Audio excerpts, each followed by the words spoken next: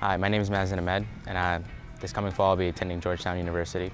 And the reason I got there was because I came to school, got good grades, and because of that I was able to run track, and track helped me open doors that I wouldn't have been able to. Going to class is important because missing a day can make you miss a whole subject and you don't really want, you don't want to fall behind because catching up is really difficult to do. Especially in running, if you fall behind you can't really catch up, so don't fall behind. Hashtag Project Be Here.